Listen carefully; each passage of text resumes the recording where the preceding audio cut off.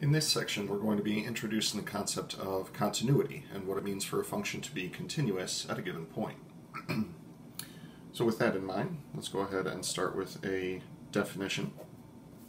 Suppose that you have a function, say let y be equal to f of x, and we say f is continuous at a point, and we'll refer to that point as A, continuous at a point A,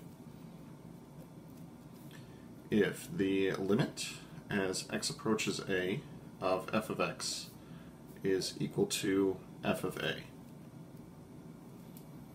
So this is what it means to be continuous at a given point. Now, this is actually several different statements, and we're going to break those statements down.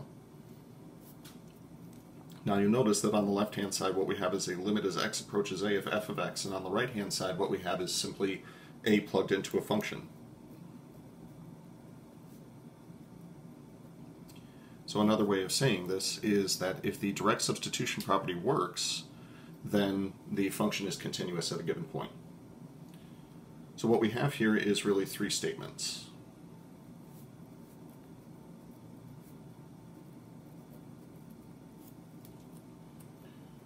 So those three statements are, first off, that the function is actually defined at that point.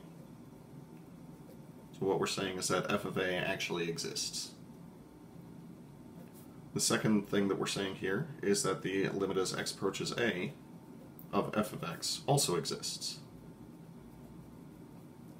Now, even that statement right there can be broken down further by saying the fact that that means that the left-hand limit exists the right-hand limit exists, and those two limits are equal to each other. In addition to the statement of uh, existence, we're also saying that these two quantities are equal to each other. So a limit as x approaches a of f of x is actually equal to f of a. Now with those things in mind, we can also define what it means for a function to be continuous on a given interval.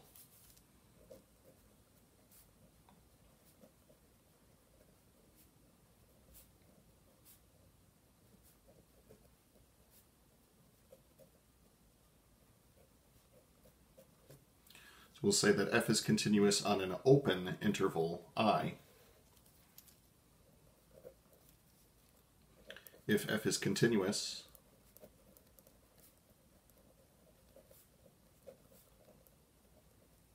at every point contained within the interval i.